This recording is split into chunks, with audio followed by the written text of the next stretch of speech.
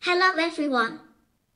My name is TRACE-E and I want to become a chess champion. Would you like to learn this incredible game with me? Today, we are going to learn the third lesson together.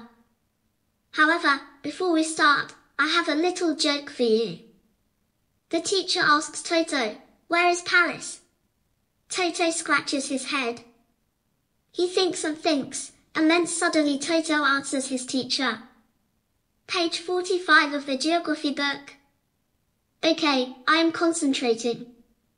Today I am going to teach you how to attack your opponent's king. To win at chess, you have to attack.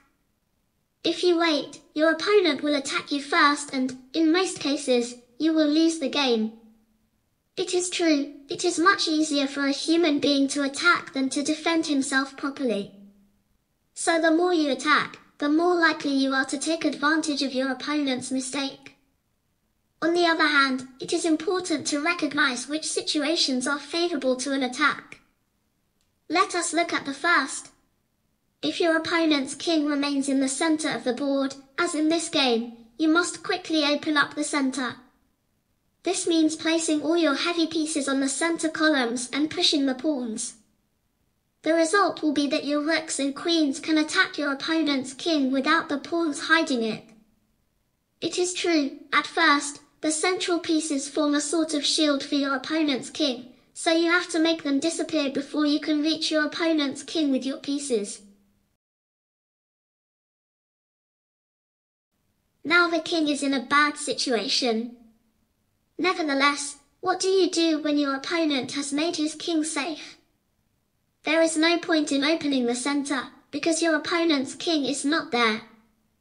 This time, you have to open his castling pawns. These three little pawns are his shield.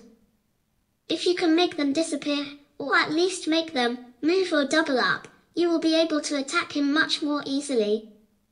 Look, here is how to do it. Did you see it? His hiding place is destroyed, so we can easily attack him with our pieces. The third clue that you can attack your opponent's king is when he is weak. When is the king weak, you ask?